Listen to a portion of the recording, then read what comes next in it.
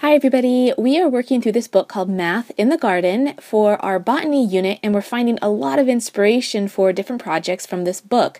So, this book is set up with a lot of different lessons, and within each lesson, there are many activities that you can do pertaining to math in the garden. And today, we are going to estimate how many seeds are in a tomato. This project is really easy to do, and you don't need that many supplies. And what's kind of neat about this is that you can go very easy with this lesson, or you can do it a lot more more in depth. Now, we're going to keep it pretty simple today.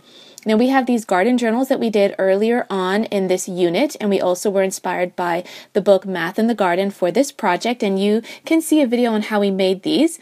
And so, this is going to be our very first lesson or rather our very first entry for our garden journal, and it's all about estimating how many seeds are in a tomato. And so we've begun this project by drawing a tomato. Now we've chosen a very small grape tomato, and it, it, turns out that it looks a lot like an apple when we're drawing it. At least that's what my son said.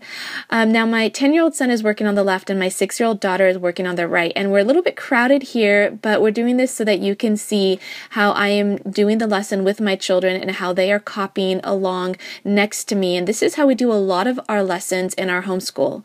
So, my six year old daughter decided to write grape tomato, which I didn't expect her to do, but she did a great job. And then she was kind of done with the project after that and that's my son's grape tomato. And then we are going to be estimating how many seeds are inside this tomato. Now, we ended up cutting it before we measured the circumference, and so later we're going to have a little bit of a challenging time getting the circumference. And now that we have cut it open, we want to now draw the cross section of the tomato.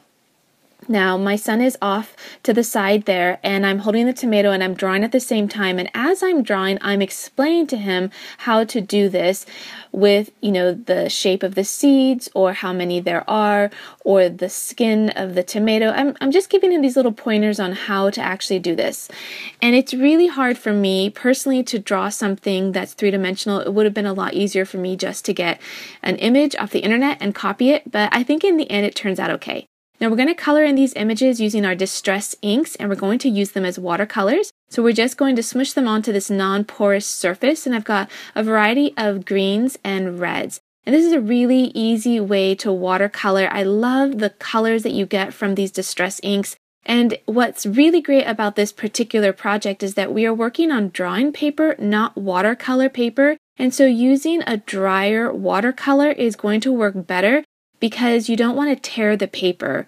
And so now it's time to fill in our image, and this is kind of the fun part in my opinion. And we're going to leave all the pencil marks inside. We're just going to use them as a guide on how to kind of fill in all the watercolors. And you're going to see a little bit of the pencil marks at the end, but I think it kind of adds to the whole design anyway then we're just going to go ahead and get all the reds and the greens and a little bit for the yellow for the seeds and that's about it. Now you don't want to be too wet with this otherwise it's going to bleed through the paper and stain the other papers in this garden journal as well as tear the paper. So you want to go really easy on this. So my son's just going to finish up his watercolor of the cross section of a tomato. And I really like the way his turned out. In fact, I've been really pleased with his artwork the whole year. So he's just going to finish that up and then we will get to estimating how many seeds are in the tomato.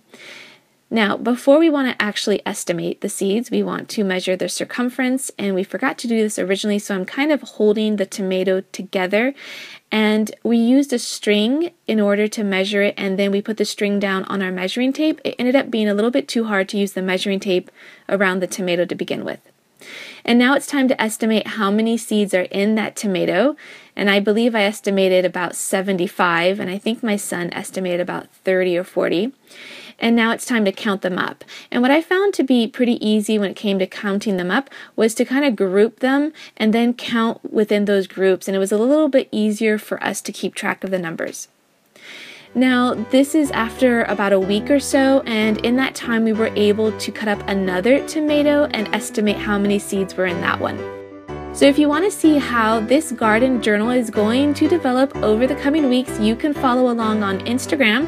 And if you want to see the rest of the videos in our botany unit, you can click on the screen right now.